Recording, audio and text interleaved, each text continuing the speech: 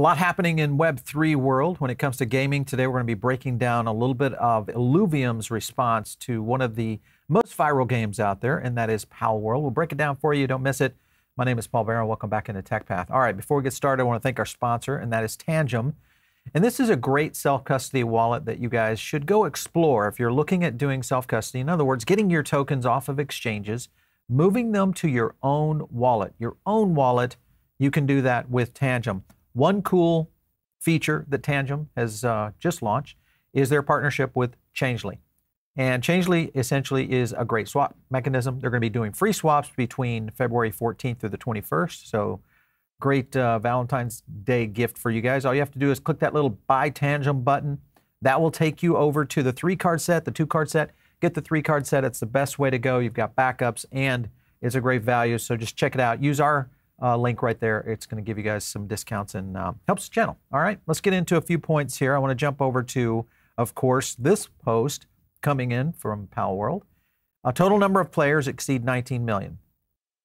That's right, that wasn't a misprint. 19 million. It's been less than two weeks since it was released. Thank you, Steam, 12 million, Xbox, 7 million players. And if you think about any games out there, to have these kinds of numbers, even at 10% of this, would be an overwhelming success. So for us to see this, it showed you, and I think it showed everybody in gaming, what uh, kind of appetite uh, was out there for, for this right here. And of course, right here, Palworld Success, Crypto Entrepreneurs Indie Game achieves 100 million revenue within days. And this is the thing I think that people have to really kind of pay attention to right here. I want to kind of highlight this. This is the founder, Takuro Mizobe, a former employee of JP Morgan Securities, also later ventured into the crypto world and utilized his crypto fortune to essentially st- establish the studio, which is Pocket Pair, uh, the indie game developer in 2015. So he's not. It's not that he's new in this sector, but it shows that this uh, gentleman has a lot of conviction for what's going to be happening around Web3. I think around Web3 gaming. Nintendo. He's with uh, Nintendo as a game developer. Uh, went in and started working in uh, securities with J.P. Morgan, and then Later in 2014, founded a virtual currency exchange CoinCheck. This is a CoinCheck is uh, probably one of the largest ones out there in Japan, and then founded Pocket Pair in 2015. So for eight years, he's been grinding and really doing a good job with obviously building out what that is. There's CoinCheck right there. So it's a real platform. And if you look at the comparison, these are the Japanese crypto exchanges by market share and by trading volume. And you can kind of see right there, CoinShare. So or CoinCheck. So the point being is that this is not a chance. This is not a fluke. This was a calculated move that w- took years to develop and actually worked. And that to me always signals success. And that's what kind of what we've seen. So the real question is how are some of the Web3 games going to react? So Illuvium actually came out and did a, a big announcement. We're going to go to a few clips to give you guys an idea of what they're doing because there is some similarities here between Palworld and what Illuvium is trying to do. I want to jump to this uh, first clip. Listen it. Does this make you feel awful that they they they just soaked up all the market and now it's all gone? What are your thoughts on Palworld? No, absolutely not. Now, world doesn't have NFTs. Weirdly enough, it's uh, it, it's developed by a guy who's into crypto, but it's it says to me that people want to play creature capture games, kind of like freaking me out a little bit if I'm if I'm being honest is I didn't know if that was just the nostalgia that people were getting from Pokemon. Palworld is that, but it has nowhere near the same psychological collect, uh, connection to the characters as what you do in our game. You, we do, our game doesn't have that connection either. But the thing that's missing from Palworld is the uh, the lore elements, the story elements, the the bios of these yeah. creatures. One of these happens every year, and I'm so happy for them. But my money is on that's a three minute, three month flash in the pan game that has a minor player base from there on out. All right. Well, we'll see if uh, if Palworld does and is a flash in the pan, or if they've maybe unlocked the creature code, so to speak, around uh, the future of what might be Web3 gaming. Here's a little bit of an early access roadmap. A couple of key features that are planned is PvP, uh, in-game content for raid bosses, and then uh, Pal Arena, which is um, PvP for for the pals themselves. And I think this has been um, an interesting comparison because a lot of people have referenced that this looks and feels a lot like Illuvium. It should have been what Illuvium was doing all along. And I think this is going to be one of those that we will know pretty quickly. Now, remember that there's been some successes like this before. So if you look at just Fortnite, I'll just kind of go from here on their wiki. But if you look at how they were and how they got started, I should say, what they did was they started to develop these relationships with content creators. And I think that's probably going to be the case with Palworld. Now, remember though, the difference is, is obviously their partnership now with, with Xbox. I'll show you that in a second. But with that being the case, and now, you know, if you look back at Fortnite, what what was next for them? Then they went into Marvel. Then they went into the NFL. So you saw that all you need is a great concept, great gameplay, and then of course great design and great execution. And they were able to do that.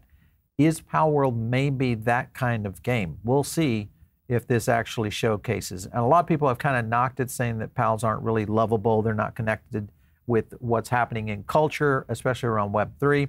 Here's a post just showing you some examples of, you know, the, people are already doing things around these. These are nice PAL cupcakes. So you can kind of see people love it. Uh, it's clear that there is a connection uh, to culture, and I think this is going to be the thing that will either make or break it going forward. I want to go to another clip because this is talking about overworld changing to Palworld. Listen in. Obviously, people have been talking about the overworld feels empty. How do we solve that? Yeah, so it, look, it's it's absolutely no secret that we've had uh, a, a, lot of feedback saying that the overworld is empty. Uh, it's just not the same when you're not seeing the Illuvials. And when I saw that, it just came, obviously I wasn't playing it myself, but it completely changed my entire perception of the overworld. It gave me a different feeling, like it just hit differently, right? Like if you're not seeing that Illuvial in the world that you live in, you just don't get that same connection. That makes sense. And you can't just walk up to it, which is like the natural experience you would expect just seeing them did that for me. And I was yeah. like, oh my God, what do we do? Like, get these in immediately. Yeah. And being able to tr- see the Illuvial, then track the Illuvial, then you've got to shoot it to hunt it down. So, I mean, does that sound familiar to you guys? I mean, that obviously is exactly what's happening in that game. So maybe Illuvium has learned something from the success of what's happened here and adopt. And I don't think this is a bad thing that, you know, listen, I think it's kind of flattery when you are copying other games or other developments within games. And there really isn't a matter of any great new ideas. It's a, basically a regeneration of how to execute on ideas. And that, of course, I think is the bigger picture here. They talk a little bit further about Auto Battler and what they were going to do with it. Listen in.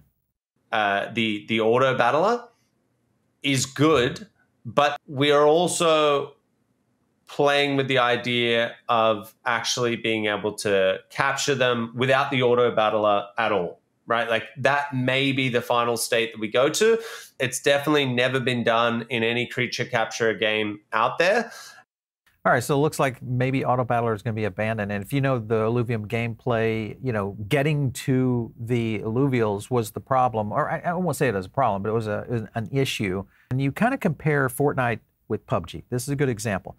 This was in 2017. And you see right there, Fortnite, of course, exploded. But remember that PUBG hung with it quite a bit there about midway through 2017. Fortnite kind of became the game.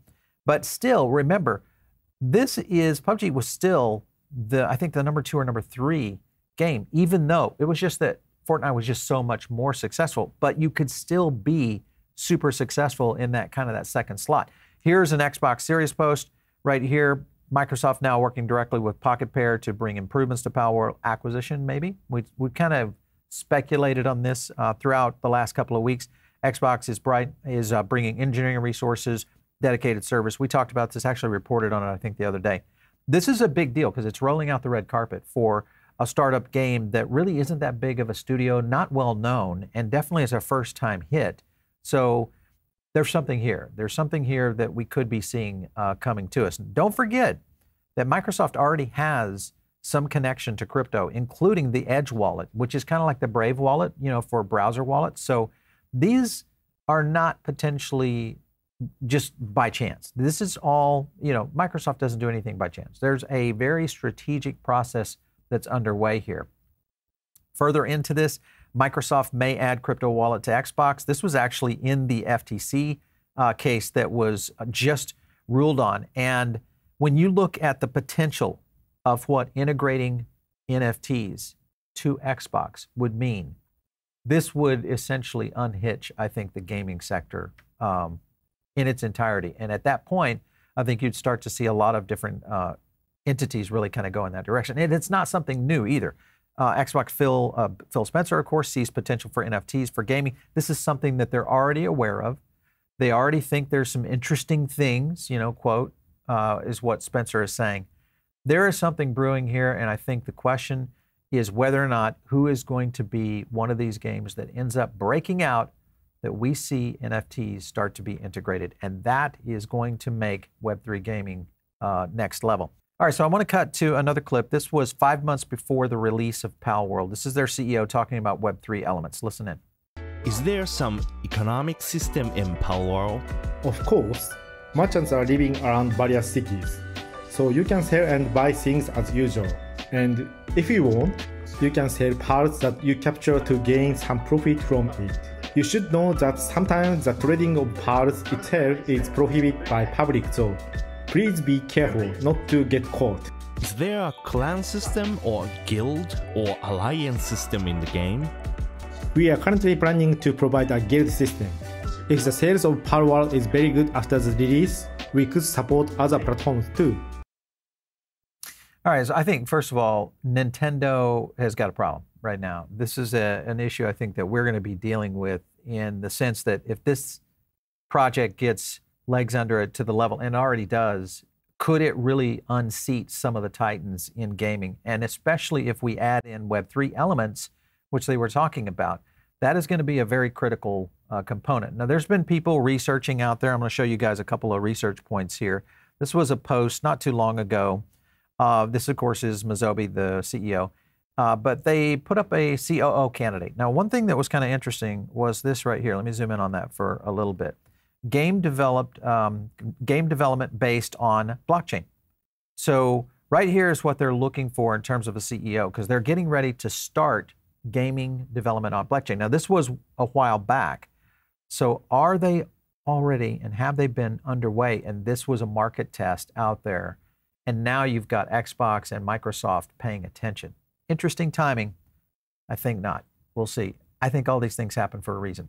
All right, if you guys, we're going to continue to break these things down for you, give you guys some insights to Web3 gaming, because this is important for crypto and tokenized assets and the idea of what Web3 means, which means you own stuff in the game. That's really the difference here that makes it so unique going forward. So make sure and subscribe to the channel right now. You'll get a lot of that, along with other regular, you know, alpha that we get into on general crypto, Bitcoin, all that good stuff. If you're not in our diamond circle, get in that as well.